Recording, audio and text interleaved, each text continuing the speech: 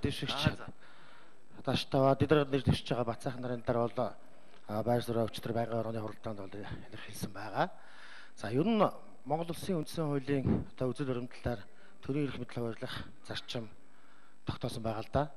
За энэ хүрээнд бол энэ гэмтрэгтэй тэмцэх урьдчилан сэргийлэх энэ ажил бол засгийн газрын одоо үндсэн үүрэг байгаа. За энэ засгийн газрын тухай хуулиудаараа ч гэсэн ингээд тогтооход явсан юм зүйл. Инхээр ер нь бол энэ авилгатай тэмцэх авилгын эсрэг хэрэг гэдэг маань бол өөрөө одоо гүйцэх засаглалтаа хамаарах ийм гэмтрэг түүнээс урьдчилан сэргийлэх ажлыг зохион байгуулах нь бас энэ засгийн газартай байх ийм л одоо очихтай л да.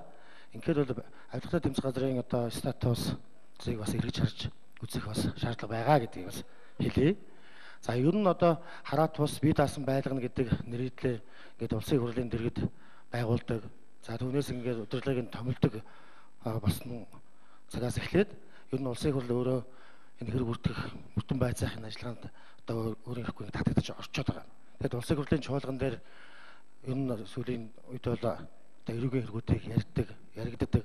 За уул нь бол одоо хууль тогтоох энэ чигүүргээл одоо хэрэгжүүлэх үүрэгтэй байгууллага л да. Үндсэн үндсэн хуулийнхаа үзлэрийн төлөнд аваа.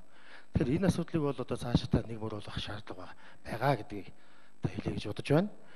За хоёрдугаарт энэ авилгатай тэмцэх энэ байгууллагын хувьд бол за хараад тусаар улс төрийн одоо нөхцөл байдал нийгмийн уур амьсгал бас авталгүйгээр одоо цэвэр мэрэгжлийн одоо гэмтэртэй тэмцэх энэ чиг үргээ хөгжүүлэх үүрэгтэй ийм шаардлага байгаа.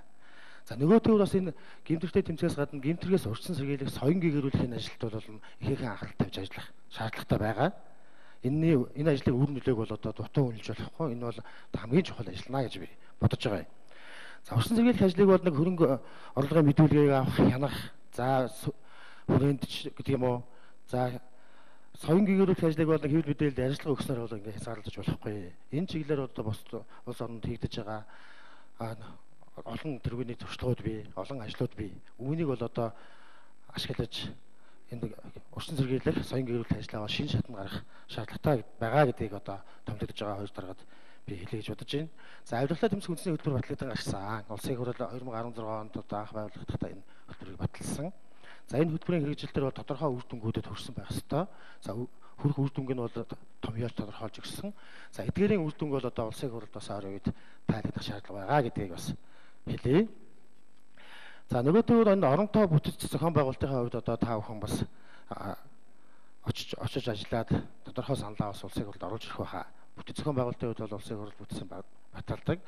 За шин зорилт за өнөөгийн одоо нөхцөл байдалтай тохируулсан юм шинэ бүтэцтэй ажиллах хэрэгтэй.